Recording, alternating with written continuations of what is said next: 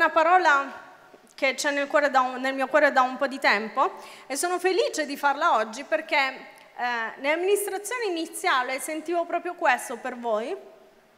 Sentivo che appunto, come, così come ho detto, c'erano persone che erano molto schiacciate dal peso di quello che stava succedendo nella loro vita e però sentivo che c'erano tanti altri che erano lì a pensare al nulla perché ritenevano che non ci fossero eh, peccati di cui essere perdonati, ok? Nella loro vita. Quindi oggi voglio parlarvi di qualcosa di molto interessante. Leggiamo il primo verso, in prima Re 8, dal 10 all'11.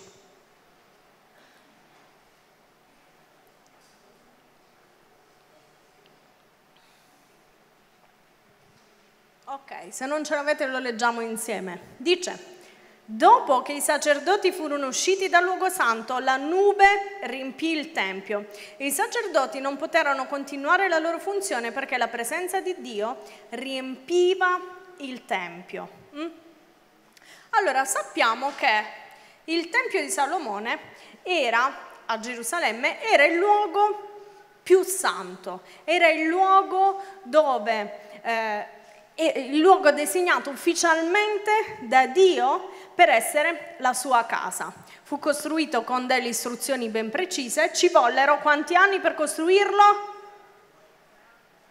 89. Sette anni per costruirlo e come approvazione Dio cosa fece? Mandò il suo fuoco. Mandò il suo fuoco come approvazione eh, di questo tempio per consumare i sacrifici e riempire di gloria quell'edificio. Ok? Questa era quindi la casa di Dio, giusto? Ogni centimetro del tempio era santo. Ora vi faccio una domanda, perché qui il verso dice i sacerdoti non poterono continuare le funzioni perché la presenza di Dio riempiva il Tempio. Vi faccio una domanda. I sacerdoti erano sbagliati nel Tempio? Rispondete con tranquillità. Mm? Sì, erano sbagliati? Sì o no? Decidete. Quanti dicono sì? Quanti dicono no? Quanti si astengono? Ok. Allora, i sacerdoti, no, la risposta è no, no, non erano sbagliati. Era la loro funzione, era la loro attività, era giusto che loro fossero nel Tempio, ok? Ma in quel momento succede qualcosa per cui non possono più svolgere le loro funzioni e sono costretti ad uscire. E quindi cosa succede? Che, scusate che la luce è troppo forte, mi va negli occhi e non vedo niente. Quindi non erano sbagliati, semplicemente è successo qualcosa per cui non dovevano essere lì, anche se non erano sbagliati. Poi cosa succede? Voglio farvi un esempio, un'altra analogia che ho trovato, secondo me chiaramente, dopo giusto qualche anno. Dopo 400 anni da questo episodio arriva una persona molto importante per noi, che è Gesù. E cosa fa Gesù? Leggiamo questo verso insieme, Giovanni 2 dal 13 al 17. Ce l'abbiamo? La Pasqua dei Giudei era vicina e Gesù salì a Gerusalemme. Trovò nel tempio quelli che vendevano buoi, pecore, colombe e cambiavalute seduti. Fatta una sferza di cordicelle, scacciò tutti fuori dal tempio, pecore e buoi.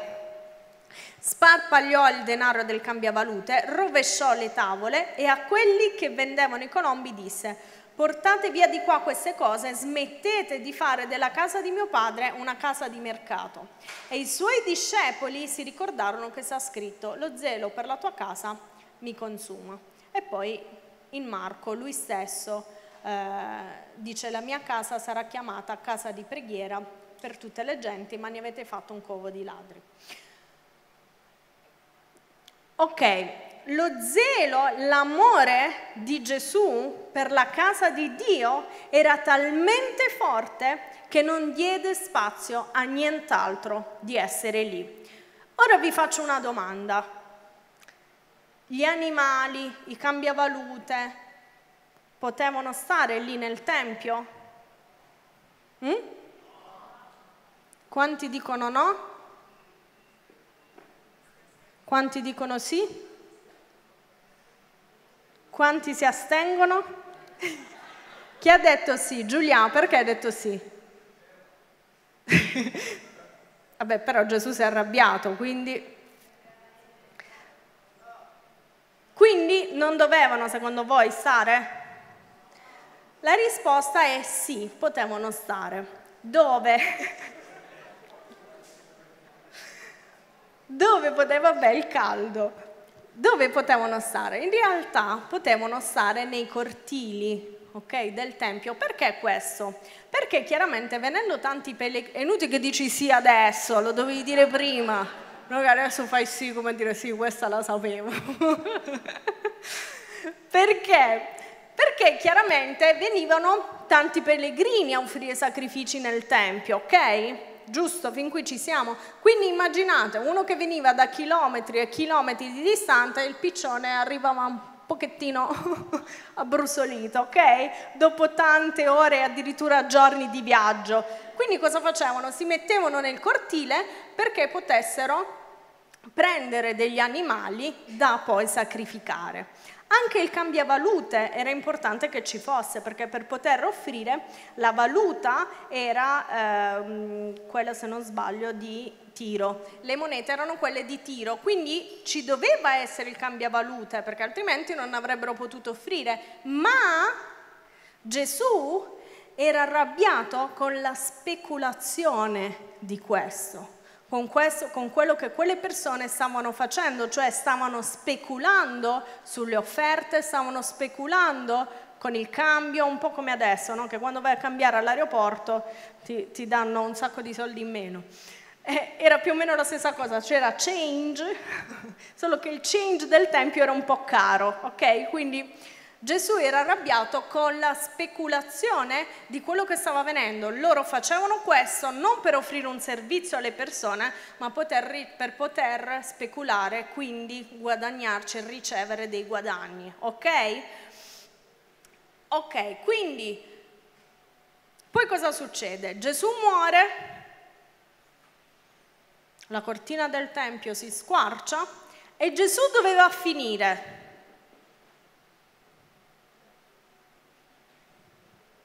Ricordate che se n'è andato, poi dice poi viene lo Spirito Santo, che viene e verrà dentro di voi. Vi ricordate? Sì. Spirito Santo, Gesù, stessa persona. Sì, ok. Quello che prima era un tempio fatto di pietre diventa il nostro corpo. Ok? Il nostro corpo noi diventiamo il tempio di Dio, il tempio dello Spirito Santo. E allora immaginiamo un attimo, se Gesù, per quello che era un tempio fatto di pietre, si arrabbia così tanto perché non voleva dare spazio a nient'altro che a Dio, come può Dio rimanere tranquillo quando nella nostra casa diamo spazio a tante altre cose? Come può Dio che ha permesso che suo figlio morisse non essere geloso del nostro Tempio? E quindi oggi voglio parlarvi proprio di questo, dello spazio che stiamo dando a Dio nella nostra vita. I sacerdoti non erano sbagliati, i cambiavalute e gli animali non erano sbagliati, ma la presenza di Dio era talmente forte, ma Gesù era talmente, desiderava così tanto che quello fosse un luogo di Dio che non voleva dare spazio a nient'altro che non fosse Dio. E quindi questo è quello che è successo. Nostro, eh, la nostra vita diventa il Tempio, il nostro corpo diventa il Tempio e la domanda è, Dio, lo Spirito Santo, è a suo agio in questo tempio? Siete mai stati in un posto dove non vi sentivate a vostro agio? Tipo, fatemi un esempio, dai. Dove?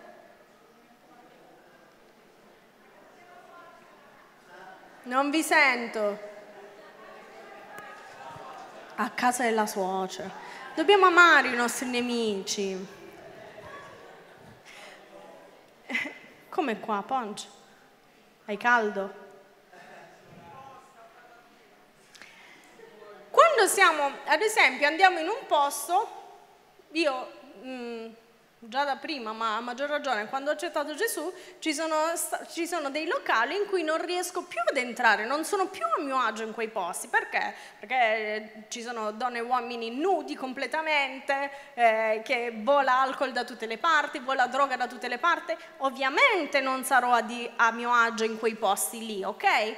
E così, quando non sei a tuo agio, hai voglia di andare via da quel posto, giusto? E la mia domanda è, Dio si sente, lo Spirito Santo si sente a suo agio dentro di noi? Si sente nel posto giusto? Si sente a casa? Mm? Ok. Allora, ripetiamo. I sacerdoti non erano illegali in quel posto, così come gli animali.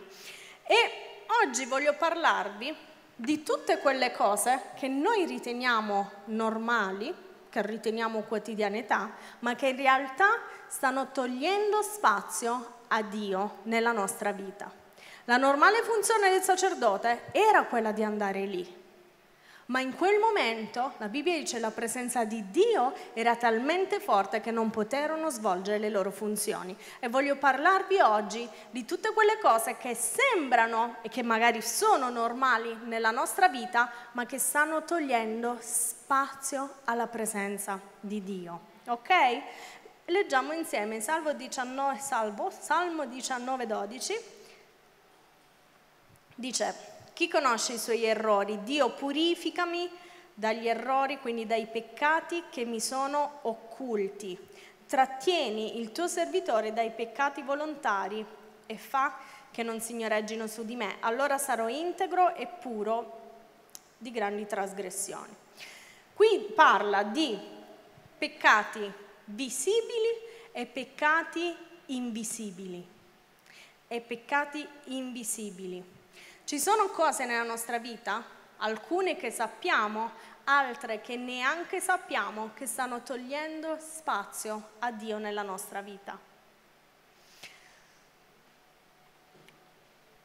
Il motivo per cui Dio entra, si prende il suo spazio, il motivo per cui Dio volle prendere ogni angolo è che è stato perché, era perché lui non voleva permettere a nessuno di prendere ogni spazio del suo luogo. E Dio oggi vuole dirci che Lui vuole prendere ogni angolo del, del, nostro cuore. Non importa che ci sono cose che sono normali, non importa che ci sono cose che non sappiamo, Lui oggi vuole prendere ogni spazio della nostra vita. Ok? E ci sono tanti cosa c'è di male nella nostra vita. Ci sono tanti, non c'è niente di male nella nostra vita, che ci stanno impedendo, stanno impedendo a Dio di invadere ogni angolo del nostro cuore. Vi ricordate quando c'era la nuvola, come il verso iniziale dice, la nuvola di Dio era la Shekinah, era la presenza forte di Dio in quel momento che riempiva totalmente quel luogo. Ok? Quindi ci saranno, probabilmente ci sono tanti, ma è normale, ci sono tanti cosa c'è di male, ci sono tante, non c'è niente di male in questo, che forse sono cose normali per noi, come lo erano quei sacerdoti che stanno togliendo spazio a Dio. In Cantico dei Cantici dice, vi ricordate, catturate le, vi- le piccole volpi perché sono le piccole volpi che rovinano le grandi vigne le piccole volpi e voglio parlarvi proprio di questo, quei peccati invisibili che creano dei cortocircuiti e non ci fanno essere luce. Be the light, quest'anno Be the light, siamo a metà Be the light, quindi io direi di fare un po' un punto della situazione su sto Be the light, no? Siamo Be the light? siamo light? o siamo B? No, siamo light, ok? Ma light nel senso che siamo magri? Anche, dai. Ho sentito un amen per fede. Be the light. Vi voglio raccontare una storia. Qualche mesetto fa, veramente ce l'ho in testa già da tanto tempo, ma qualche mese fa si è realizzato il mio desiderio di abbattere un muro nella mia camera da letto. Tu dici, ma come pastore? Io ho visto, casa tua è nuova, perché devi abbattere il muro? Perché mi toglieva l'aria, quindi ho detto a mio marito, togliamo questo muretto. Mio marito, felicissimo di questa notizia che gli avevo dato, è riuscito a non farmelo fare per diversi anni. Quest'anno mm, ho deciso che dovevo farlo, quindi chiamo un massimo esperto nel settore, il nostro amico Ale Pente, che oggi non c'è,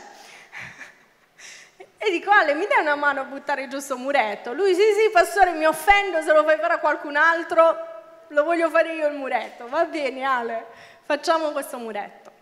La cosa che, eh, che non ha proprio funzionato, che comunque non avevamo, io non avevo considerato e tantomeno mio marito, è che questo muretto era fatto di gesso e cartongesso.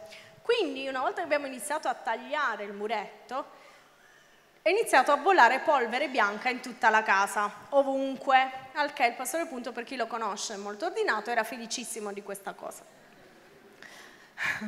La cosa buffa è che lui aveva i capelli completamente brizzolati, non perché era invecchiato tutto d'un colpo per questa storia, ma perché la polvere bianca aveva riempito i suoi capelli. Quella sera siamo andati a una cena e lui non aveva fatto in tempo, si era solo lavato di corsa, ma non i capelli, e io non avevo il coraggio di dirgli che aveva i capelli bianchi, quindi abbiamo fatto tutta la sera in cui io ho avvisato mia cognata e mia sorella dicendogli non dite assolutamente al pastore appunto che ha i capelli bianchi, se no mi ammazza. Quindi tutta la sera a noi ci veniva da ridere perché, per i suoi capelli brizzolati e tutt'oggi lui non sa che ridevamo per quello. Ciao amore. Ciao, meraviglioso. Stata una serata simpatica. Ma la storia non finisce qua, vabbè, a parte che dopo mesi ancora toglievamo la polvere dalla casa per la sua gioia. La storia non finisce qua perché poi abbiamo dovuto montare tutte le lampade, le cose, no? Un po' una mini ristrutturazione.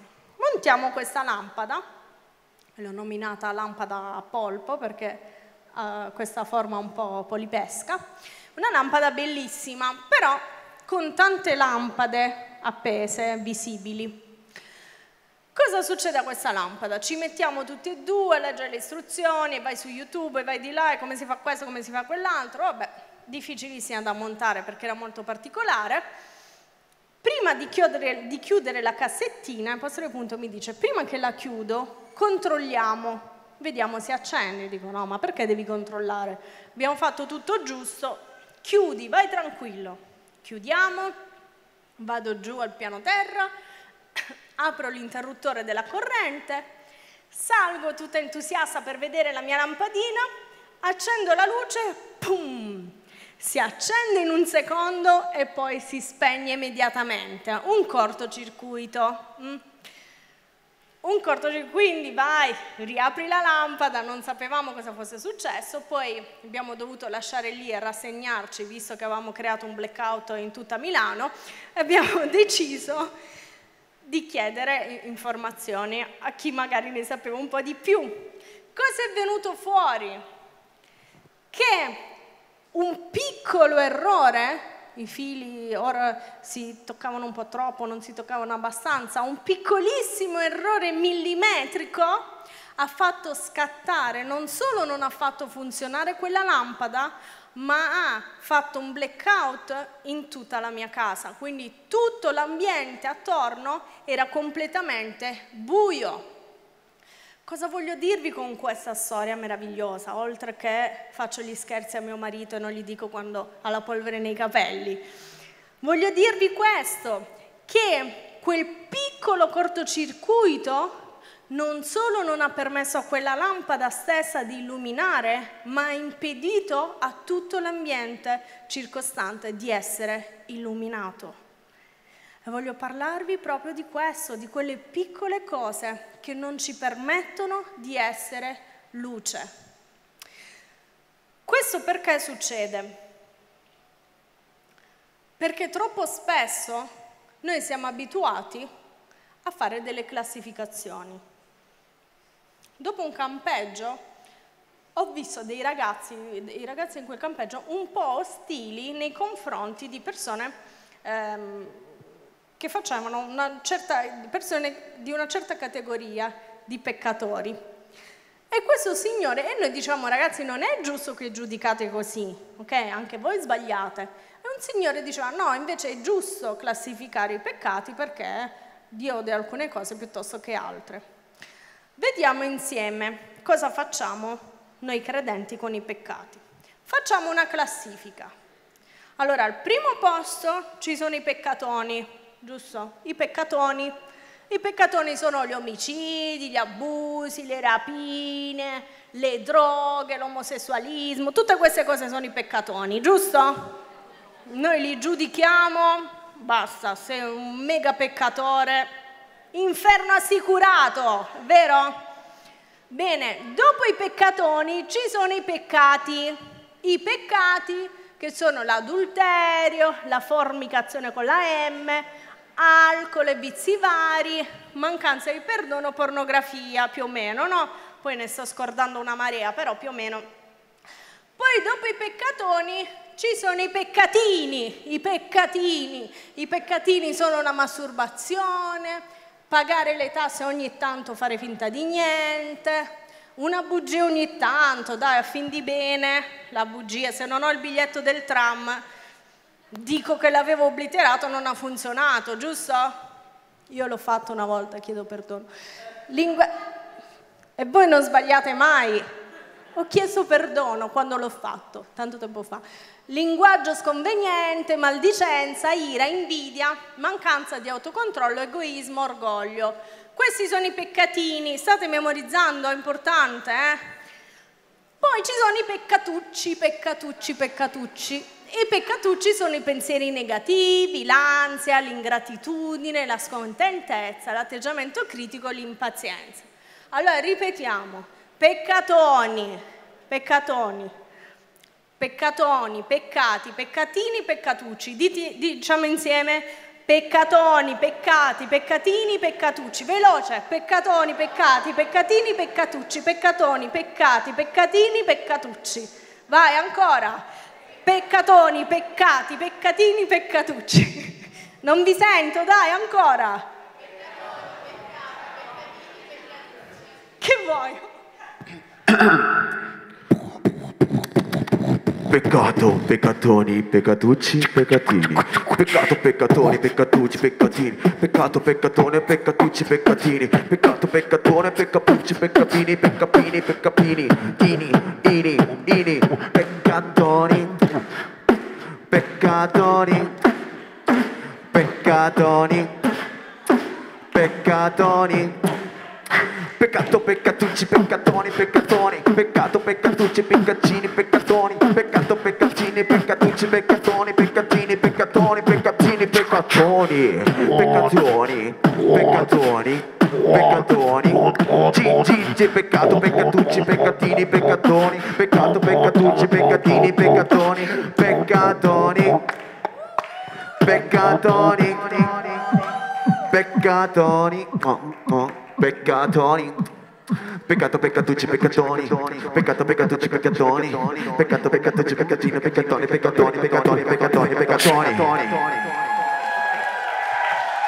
Basta, andatevene! Non peccatoni. Tony, non stai peccando, non peccatoni. È il mio. Ma insomma, questi che invadono il palco fanno queste cose. Comunque, ho ballato troppo aiuto. Co- co- comunque, ormai co- comunque, comunque, basta, ero nel loop. Perché noi a volte facciamo questo, no? Classifichiamo peccatoni, peccati, peccatini, peccatucci, giusto? Facciamo questo. E poi vabbè, ovviamente, alla fine di tutta la classifica ci sono i cosa c'è di male. Non ce li dimentichiamo questo. Beccatevi questo versetto. Giacomo 2,10. Avete visto? Voi lo sapete fare. Dice, chi osserva tutte le leggi di Dio, ma, anche, ma manca anche soltanto in un punto, si rende colpevole come se avesse violato tutta la legge. Cosa ci sta insegnando qui la parola di Dio? Che a volte la religiosità ci aiuta a tollerare dei peccati e a giudicarne degli altri. Questo non è agevolato dalla legge perché chiaramente pensiamo, è chiaro che la legge dovrà giudicare in modo diverso gli errori delle persone. Quindi giudicherà un omicidio, ma non giudicherà uno che si guarda un filmazzo porno, giusto? Ne frega niente a loro di uno che si guarda un film porno. Quindi la legge giudica degli errori e non ne giudica gli altri. Questo chiaramente la classificazione che fa la legge è perché chiaramente ci sono conseguenze diverse, quindi abbiamo sempre detto che la differenza sta nella conseguenza di quello che farai, ok? Se commetti un omicidio piuttosto che dici una bugia. Ma la parola di Dio ci ha, ci ha fatto vedere che comunque, anche se manchiamo in una cosa, come se mancassimo in tutto il resto. La religiosità fa anche questo, perché la religiosità cosa fa? giudica magari un ragazzo che si guarda un film porno, ma non giudica se stesso che è orgoglioso. Questo è il religioso. E siamo abituati a classificare i peccati e ci dimentichiamo che il metodo di giudizio di Dio non è il nostro, non è il nostro. E quindi cosa facciamo? Tolleriamo e iniziamo piano piano a tollerare i peccatini, iniziamo piano piano a tollerare i peccatucci e non c'è niente di male. Ma la verità è che le trasgressioni sottili porteranno a peccati più gravi. Se, le, ve la ripeto, le trasgressioni sottili porteranno a peccati più gravi. Se io sono abituato ogni tanto a guardare le ragazze un po' svestite e lo faccio oggi, lo faccio domani, lo faccio dopodomani, lo faccio per un po' di più di tempo, mi sto portando verso la pornografia, verso il tradimento. Se io sarò pieno di ira, di rabbia, di mancanza di perdono, di odio profondo, mi sto portando verso azioni violente, addirittura può scatenare in omicidio, ok? Le, le, le, I peccati sottili portano alle trasgressioni più gravi. Amen? E ci sono una marea, vi voglio fare un po' una carrellata di quelli che io ho chiamato peccatini. Mm? Ad esempio, l'ansia. A volte giudichiamo una persona che ha dei vizi e non ci rendiamo conto di quanto siamo ansiosi e stiamo offendendo Dio. Perché stiamo offendendo Dio? Come ti sentiresti se il tuo fidanzato, tua mamma, tua sorella ti dicesse ti amo ma non mi fido di te? Come ti sentiresti? Potrebbe essere possibile una cosa del genere? No, eppure lo facciamo con Dio tutte le volte che pecchiamo di ansia. Nella sua parola è pieno così di versetti in cui parla di ansia. Matteo 6, 25, 34 parla sei volte dell'ansia, ce ne sono mille altre volte in cui dice non siate in ansia. Solo, guardate, solo in Matteo 6, eh, in questo capitolo, viene usato sei volte la parola ansia e poi ce ne sono tante altre, in cui Dio ci dice non ti preoccupare, non essere in ansia, io ho il controllo della tua vita, tutto quello che ti succede coopera per il bene, ci, di, ci dà una marea di promesse rispetto all'ansia, eppure noi tutte le volte siamo iperansiosi. Cosa farò? Cosa succederà? Non riusciamo a fidarci di Dio. Cos'altro? Sempre un peccatino, peccatuccio, non mi ricordo cos'era. L'orgoglio, pieno così anche di orgoglio nella Bibbia. Dio resiste ai superbi, poi c'è l'orgoglio religioso, che la conoscenza gonfia ma l'amore edifica, l'orgoglio di indipendenza. Quante volte diciamo, ah ma sto fatto del mentore, la Bibbia dice ubbidite a quelli che dirigono la comunità, siate sottomessi perché vegliano su di voi come persone che dovranno rendere conto a Dio, orgoglio di indipendenza, quando vogliamo andare per la nostra strada, fare tutto per conto nostro. Autocontrollo, la pazienza, la maldicenza, ce ne sono una marea nella Bibbia che sono condannati. Ce ne sono una marea di peccatini, ok, che in realtà vengono condannati come cose da non fare, ok? Eppure siamo tolleranti, siamo diventati tolleranti verso certe cose e ne giudichiamo altre. Ma quello che voglio dirvi oggi è che per la santità di Dio non tollera nessun peccatuccio. La santità di Dio perché la sua gloria si è manifestata come in quel tempio, non, perché la sua gloria si è manifestata non ci dovrà essere spazio a nient'altro se non alla sua presenza nella nostra vita. Amen? Non vi vedo convinti. E poi ci sono i non c'è niente di male. Hm? Quante volte i non c'è niente di male? È normale, fanno tutti così. Cosa c'è di male? Cosa c'è di male se metto gli shorts a forma di culotte? Ogni riferimento è al video di ieri. Non so se avete visto la polemica che ho scatenato, perché sono andata da Zara, no da Zara, non era Zara, un, un altro negozio, e ehm, stavo cercando uno shorts, un pantaloncino. Non è la prima volta che mi succede, un paio d'anni fa ne cercavo un altro e ci ho messo ore e ore per trovare uno shorts che andasse bene per me. Perché? Perché sono tutti, non sono shorts, sono slip. Quindi cosa ho dovuto fare? Già quando l'ho preso la prima volta, ho comprato uno shorts e l'ho srotolato di almeno 10 centimetri. E questa è la mia storia del primo shorts. Adesso ne volevo un altro, ho detto dai, magari questa volta lo trovo facilmente. Invece no, anche qui ho trovato delle belle culotte, per chi non lo sapesse, sono, le culotte sono delle mutandine un po' più larghe. Cosa c'è di male se metto queste cose? Cosa c'è di male se mi vesto in un certo modo? Cosa c'è di male se parlo come parlano gli altri? Cosa c'è di male se copio a scuola? E cosa c'è di male se ogni tanto non pago le tasse? Cosa c'è di male se parlo male della mia amica? Cosa c'è di male se sono in una relazione? Cosa c'è di male se ho un lavoro? Se hai un lavoro non c'è niente di male. La Bibbia dice che chi non lavora non mangia. Se hai un lavoro che sta togliendo lo spazio che Dio vuole nella tua vita, c'è di male. Cosa c'è di male nella tua relazione? Non c'è niente di male. Se avete letto il mio libro, c'era questa ragazza che tutti invidiavano il suo fidanzato perché era bellissimo, eh, di qui di là, convertito, convertitissimo, cosa c'è di male se sono in un ragazzo che segue Gesù? Niente. Ma se quel ragazzo sta prendendo nel tuo cuore il posto che Dio vuole nel tuo cuore, questo c'è di male. Cosa c'è di male se faccio quello che fanno le, tue, le mie amiche? C'è di male che tu sei figlio di re, sei una stirpe eletta, un sacerdozio regale. Un sacerdozio regale. Non fai quello che fanno gli altri perché il tuo sangue è blu.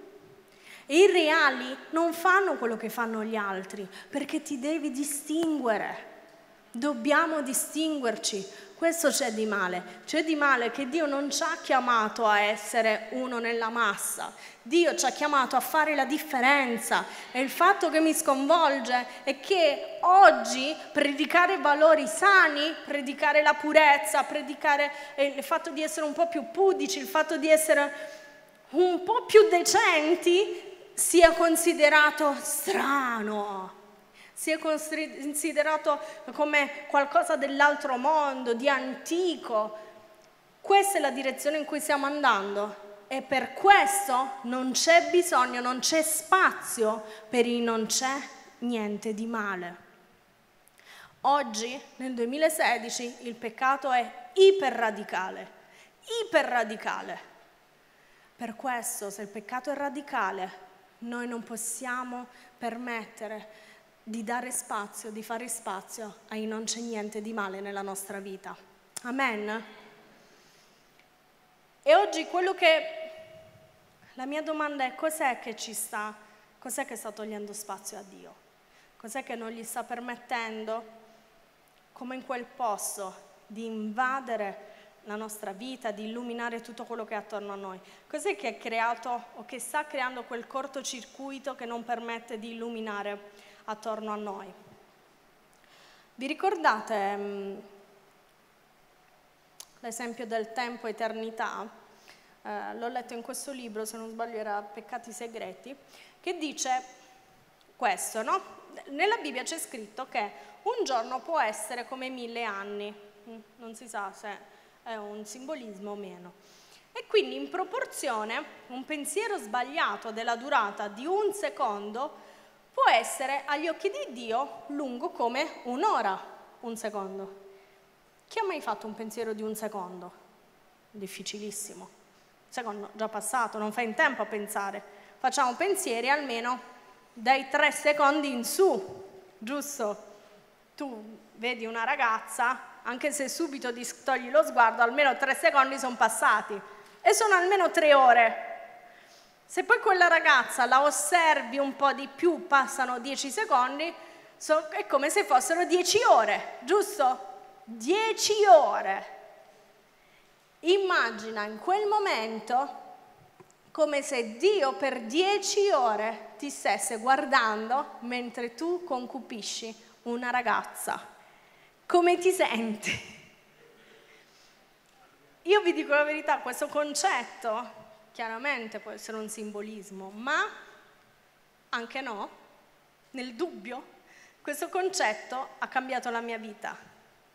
E il solo pensiero che Dio per un intero giorno potesse guardarmi mentre sbaglio, mentre ho pensieri negativi, mentre sono ansiosa, mentre dico qualcosa di sbagliato, mentre rispondo male a mio marito, mi ha fatto rabbrividire.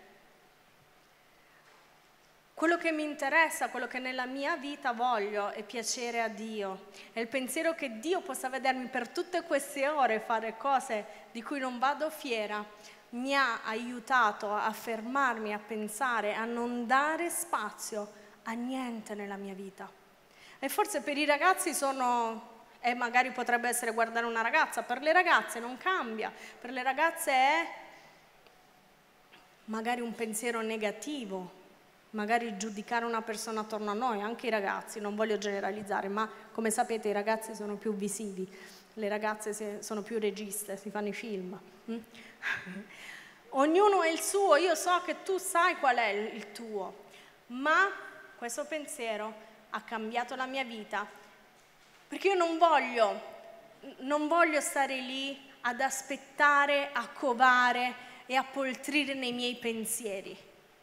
Io voglio imparare a gestire i miei pensieri prima ancora che arrivino, ok? Dobbiamo alimentarci bene così che impediamo ai pensieri anche di essere formulati. Se io guardo non guardo immagini negative nella mia vita, non avrò pensieri negativi. Se io non guardo immagini pornografiche, non avrò pensieri pornografiche. Se sono abituata a non parlare male, non avrò un pensiero negativo, ok? Quindi impariamo anche ad anticipare i nostri pensieri con quello di cui ci alimentiamo ogni giorno. Amen? Vi leggo un ultimo verso in 1 um, Corinzi 4:5. Non? Non state dunque a fare giudizi prima del tempo, aspettate che venga il Signore, Egli porterà alla luce quel che è nascosto nelle tenebre e farà conoscere le intenzioni segrete degli uomini. Allora ciascuno riceverà da Dio la sua lode. Cosa ci sta dicendo questo verso? Anche questo verso è da brivido, perché io mi immagino, arrivo in cielo, dico Gesù finalmente, ho aspettato tanto, finalmente ti conosco. Sono stata brava, eh? Con l'aureola, arrivo con la mia bella aureoletta, dico dai, com'è andata? E Gesù dice, ah che bello vederti, finalmente stiamo insieme, vieni, vieni che andiamo nella sala media. Come nella sala media? Che andiamo a fare nella sala media? Eh, nella sala media, vieni, andiamo, c'è un video, come c'è un video, che bello, hai fatto un, un teaser di tutta la mia vita con i momenti speciali. Dice no, non è proprio così, è un altro video. Adesso lo stanno preparando, gli angeli dei media lo stanno preparando. Nel frattempo ci prendiamo il caffè e la lavazza perché è quello che sta in paradiso, giusto? Quindi con Pietro, giustamente, tutti gli altri. Poi incontrerò quelli, sapete che i predicatori un giorno incontreranno quelli di cui parlano male nelle prediche, no? Tipo, ah, quello Sansone, non è stato per niente coraggioso, eh, quello Davide, eh, ha peccato. Poi, li, poi li rivedremo in cielo quelli là. Quindi io ho imparato a parlare sempre bene degli uomini nella Bibbia. Quindi poi Gesù mi porta nella sala media e lì cosa c'è? Ci sono proiettate tutti i pensieri più nascosti dei miei anni di vita. Ci sono proiettate tutte quelle cose che magari non ho fatto, ma ho desiderato voler fare. Tutte quelle cose che non ho fatto, ma ho pensato. Tutti quei desideri nascosti, tutti quei peccati nascosti che nessuno ha mai visto se non Dio e tutti gli angioletti della sala media che hanno registrato tutto, tuttissimo. Ok? Non predicate queste cose, sono le mie interpretazioni, ok? Se no uno va a casa, no, gli angioletti dei media. ok? Quindi però anche questo verso mi ha fatto pensare, immaginare e giocare su questo, sul fatto, la verità è che i nostri pensieri verranno, verranno rivelati, quindi Dio conosce anche i nostri pensieri e io oggi voglio pregare con voi per i pensieri e i peccati visibili e quelli non visibili. Quando dice eh, il verso che dice, che parla dei peccati visibili e non, Cosa sta dicendo? Ci sono cose che facciamo nella nostra vita e non ci rendiamo conto essere sbagliate. Oddio, quindi come faccio? Sto sbagliando e non me ne accorgo. Lo Spirito Santo ti aiuterà in questo. Hm? Le persone attorno a te ti aiuteranno in questo, ma io oggi vorrei pregare proprio per quelle cose normali che stanno togliendo spazio a Dio nella tua vita. Vi chiedo di alzarvi, preghiamo insieme.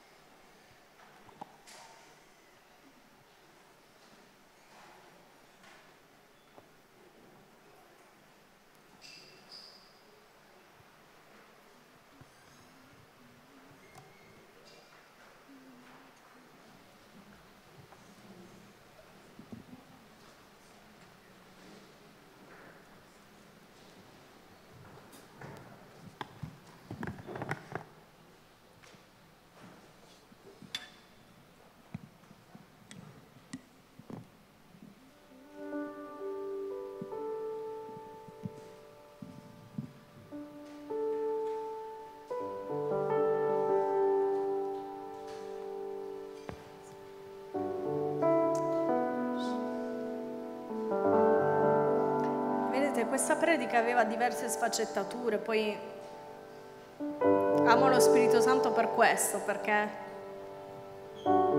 di una predica che oggettivamente stava andando in una direzione, magari a te Dio ti ha parlato in tutt'altra direzione. Ed è fantastico per questo, perché Dio ci tratta in maniera unica e quindi so che avrà parlato ad ognuno di voi io ho iniziato a pregare per i peccati che non vedo. E sapete, io ho notato una cosa e anche per questo sentivo all'inizio di dover pregare per chiedere perdono a Dio.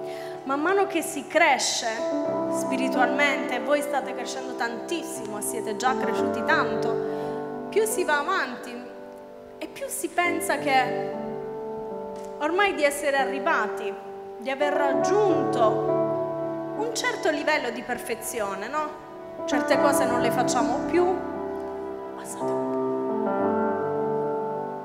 po'. Certe cose non le facciamo più. Certe cose siamo sicuri di non farle più. E questo standard di crescita cosa fa? Ci impedisce di essere umili davanti a Dio, ci impedisce di metterci in discussione. Ed è vero, noi siamo santi per Dio, siamo santi perché e siamo in un cammino di santificazione. Paolo chiama la Chiesa dei Corinzi santi, anche se se leggete i Corinzi tutto erano tranne che apparentemente santi, ne combinavano, combinavano dei pasticci tremendi e comunque Paolo li chiama santi e noi lo siamo perché la grazia di Dio ci rende questo, ci rende santi, non perché siamo bravi. Ma a volte ci dimentichiamo di qualcosa di fondamentale, di chiedere a Dio perdono. Non voglio fare un'indagine, ma io sono certa che tanti di noi, quando andiamo alla presenza di Dio, ci mettiamo là, ringraziamo Dio, facciamo le nostre richieste, ascoltiamo una canzone ma a volte ci dimentichiamo di chiedere a Dio perdono. Ma io non ho rubato nessuno, per cosa devo chiedere perdono? Quindi mi vuoi dire che tu nella tua giornata non sei stato eh, arrabbiato, non hai risposto male a nessuno? Mi vuoi dire che nella tua giornata non hai avuto momenti di ansia, non hai avuto pensieri negativi, nella tua giornata non hai detto bugie, non hai omesso qualcosa, che è la stessa cosa. Mi vuoi dire che nella tua giornata non hai parlato male di nessuno? E anche se non avessi fatto tutte queste cose, potrebbero essere state altre per cui chiedere perdono a Dio. Io oggi voglio pregare con voi. L'obiettivo di questa serata è che possiamo proprio metterci davanti a Dio e capire quali sono quelle cose normali o non, o anche più esplicite, che non stanno permettendo a Dio di prendere il suo posto. Vi chiedo di chiudere i vostri occhi con me.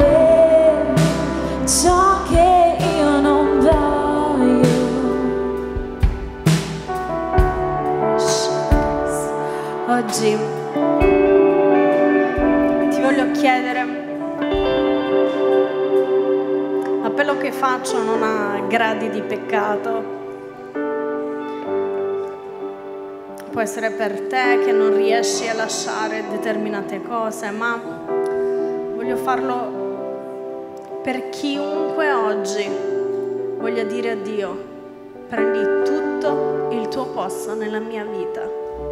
Chiunque oggi voglia dire, anche se certe cose sono normali, come erano normali quei sacerdoti, io voglio che la tua presenza dentro di me sia talmente forte che non ci sarà spazio per il normale. Non ci sarà spazio per il normale perché Dio non è normale, Dio è sovrannaturale, per questo Dio non, non riesce a convivere con il normale, non riesce a convivere con il peccato, ma non riesce a convivere neanche troppo con il normale. Quando la sua presenza è così forte, non c'è spazio per il normale nella tua vita non c'è spazio perché la tua vita sarà una vita sovrannaturale, sarà una vita in cui la presenza e la potenza di Dio è quella che ti guida ogni giorno. Questo per me significa non dare spazio al normale. Quei sacerdoti erano al posto giusto, al momento giusto, ma Dio si è voluto prendere il suo posto.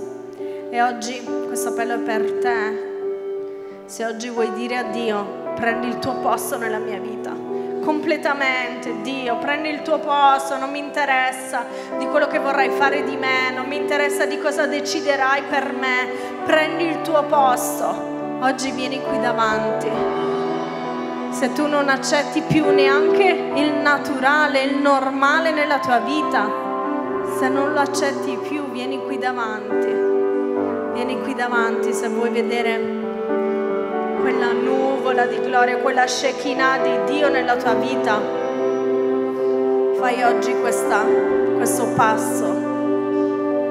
Mostra a Dio, mostra agli altri, mostra all'inferno che per te quello che conta è Dio, è Dio.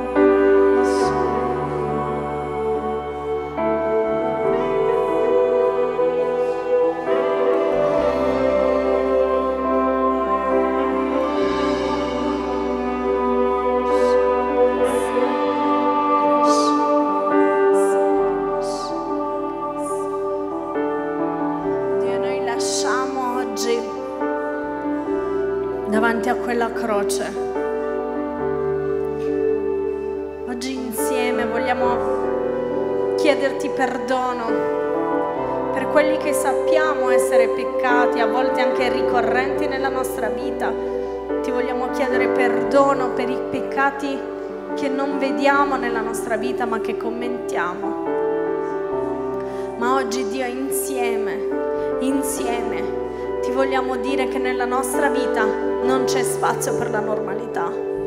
Che nella nostra vita, anche se ci sono cose che per gli altri non sono niente di male, ci sono cose che per gli altri sono quotidianità, sono la normalità, noi ti vogliamo dire Dio che non c'è spazio per noi per questo ti vogliamo dire che la tua presenza è più importante di qualsiasi altra cosa, è più importante di un lavoro, di una relazione, di un modo di vestirsi, di un modo di parlare, è più importante di qualsiasi compromesso, Dio. La tua presenza vale di più, la tua potenza vale di più di questo. Non vogliamo permettere nessuna normalità, a nessun peccato, a nessuna quotidianità, a nessuna noia, a nessuna ansia, a nessuna scontentezza di prendere spazio nel nostro cuore oggi, nel nome di Gesù, nel nome di Gesù. A volte siamo così ingrati nei confronti della vita, nei confronti di quello che abbiamo e questo non dà spazio a Dio, non dà spazio a Dio di prendere la totalità del nostro cuore. A volte siamo così concentrati nelle nostre cose, dove vogliamo arrivare. E questo non dà spazio a Dio. A volte siamo così concentrati nel guardare gli altri, nel dove sono loro. E questo non dà spazio a Dio. Oggi pensa a tutte quelle cose piccole, grandi, che stanno togliendo spazio a Dio nella tua vita. Mentre ci pensi, noi cantiamo questa canzone, ma io voglio che tu pensi a questo, perché tu possa lasciare oggi davanti a quella croce ogni piccola cosa che ti sta portando, sta impedendo a Lui di prendere il suo posto. sulla croce al posto mio.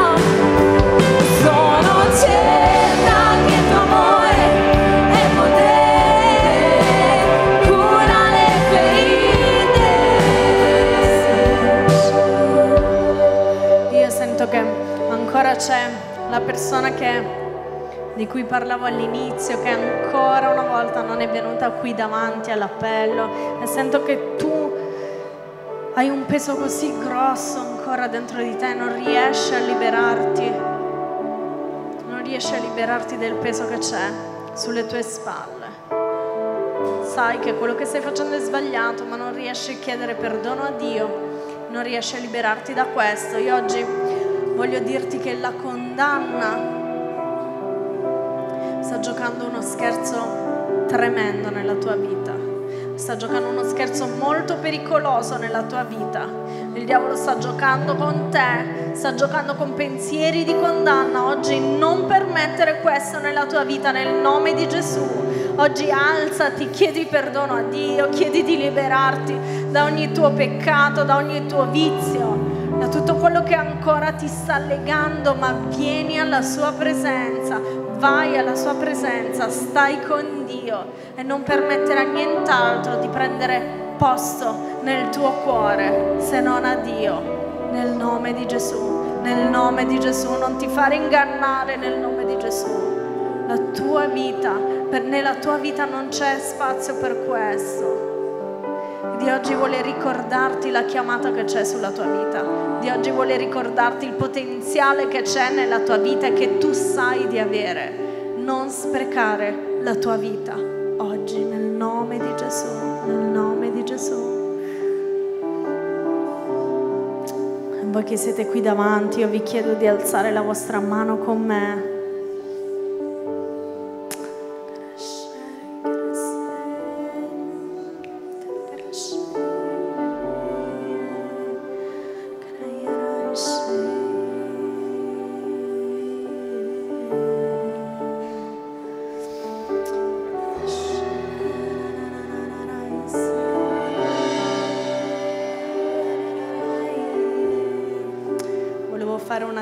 Dichiarazione, ma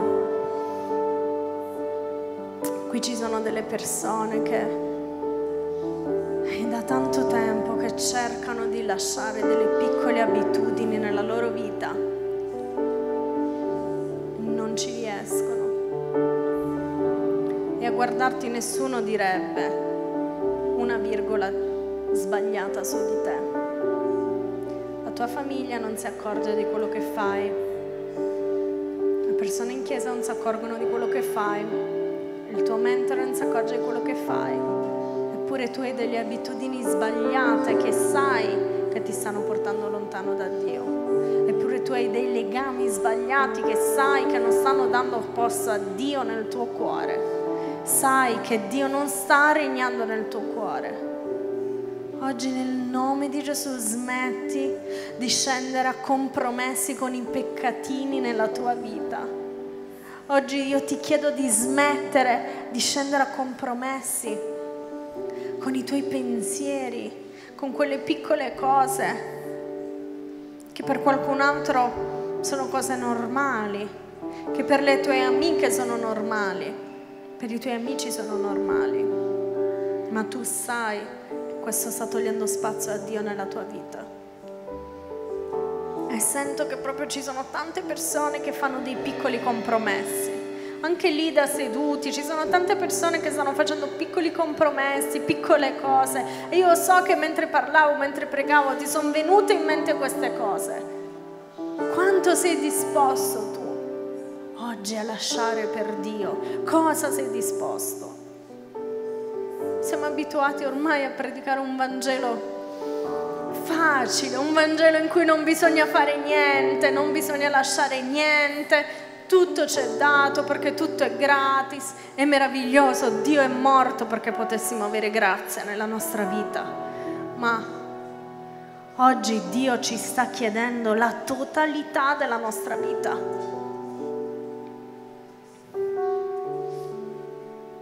Non gli interessa che tu sei salvato e che vai in cielo. Sapete una cosa? Gesù non è morto solo perché potessimo avere la vita eterna. Gesù non è morto solo perché un giorno avremo la nostra piscina in paradiso. Gesù non è morto per questo. Gesù è morto perché tu qui potessi essere libero, Gesù è morto perché tu qui potessi essere sciolto da ogni legame. Gesù è morto perché tu qui possa vivere il cielo sulla terra. E allora perché vivere questa normalità? Perché dare spazio a tutte queste cose che tolgono il cielo dalla nostra vita, dal nostro cuore? E allora oggi io ti invito a dichiarare con me, Dio, noi insieme oggi vogliamo dirti che tu hai il totale controllo della nostra vita. Alza la tua mano, ripeti con me, Dio oggi voglio dirti che hai il totale controllo nella mia vita. Non vi sento. Dio oggi io voglio dirti che non c'è spazio nel mio cuore per tutto quello che mi porta lontano da te. Io voglio dirti che non c'è spazio neanche per la normalità. Voglio dirti che non c'è spazio per l'ansia, per la scontentezza, per l'orgoglio, per la maldicenza, per i peccati sessuali. Voglio dirti che non c'è spazio per i peccati che conosco, ma anche quelli che non conosco. Di oggi voglio dirti che il mio cuore è totalmente tuo. Voglio dirti oggi che tu sei il Re Signore della mia vita e non permetterò a niente e nessuno di prendere lo spazio che tu meriti. Nel nome di Gesù, nel nome di Gesù. Alleluia.